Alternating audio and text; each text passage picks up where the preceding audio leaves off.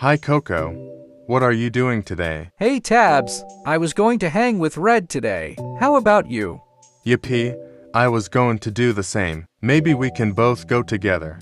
Well, I did say we both could hang, so sure. Okay, let's go. Okay, Prince. Today's my day A. I think I can take a break today.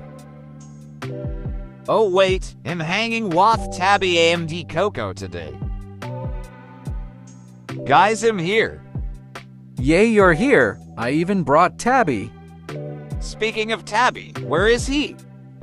Oh, uh, Tabby, get your musty, crusty, dusty, musty booty over here. What? Boom, hi, Red.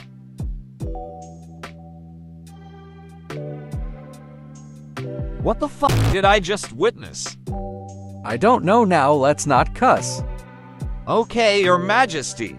Oh, I brought Marcus. You mean Marcus, the squishy fidgets? Yeah, those here. Yeah.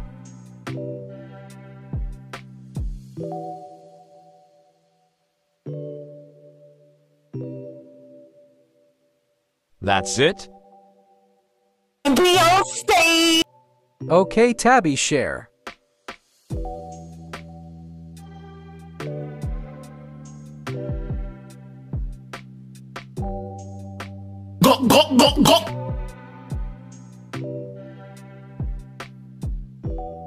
That's what you fucking get.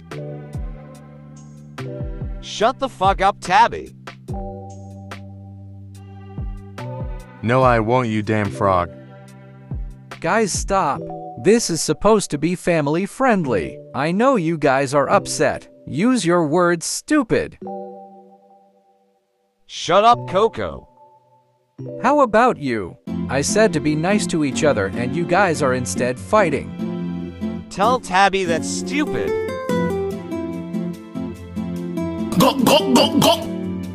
Tabby, stop cleaning my coat clean.